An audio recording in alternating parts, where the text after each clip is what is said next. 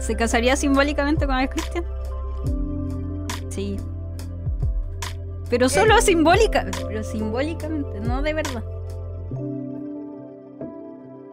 De hecho, mañana nos vamos a casar.